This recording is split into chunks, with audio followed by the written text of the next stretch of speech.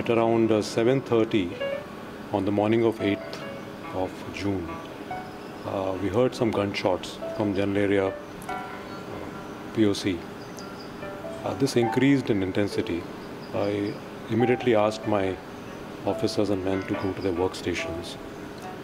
And uh, say around 9, 9.30, we started getting uh, casualties in batches of 4 to 5.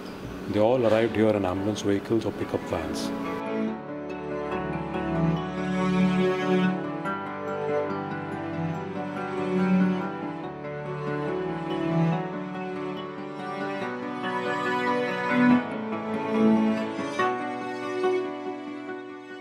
And at this moment, I can say that uh, we have more than 600 peacekeepers and uh, more than 30 APCs ready, providing security 24-7 to the PSC site. Uh, since August, the situation is tense, and uh, at the end of the day, you manage to keep um, a good security situation, to keep peace. Sometimes it's not possible to control everything, but uh, we need to highlight that uh, the presence of the, the UNMISS here in Malakal helped a lot.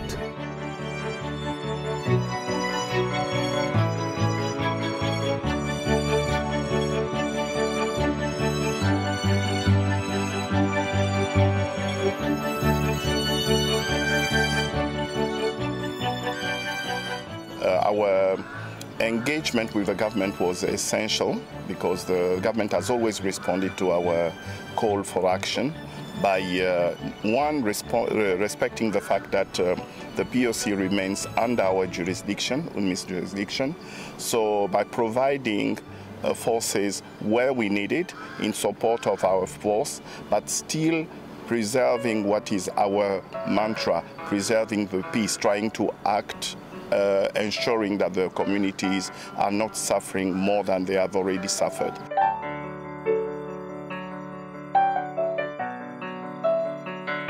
This has been a very uh, complicated exercise uh, for everybody in the UNMISS. Uh, it's a very, it's an extremely difficult uh, situation for the IDPs, especially for the IDPs. Um, but uh, that said, um, it, uh, when it comes to the engagement uh, and the cooperation between the force, the personnel on ground and UNPOL, uh, luckily we were very well prepared. We had our plans in order.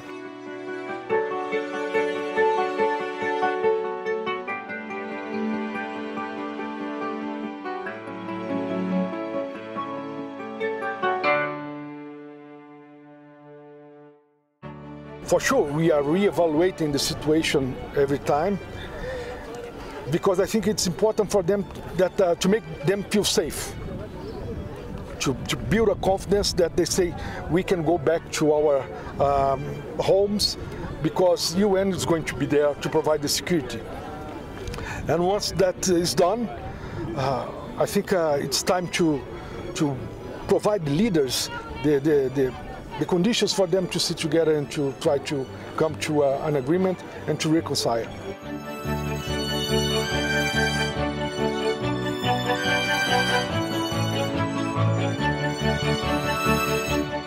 It's been a, a whole operation and uh, we are not uh, out of the woods yet.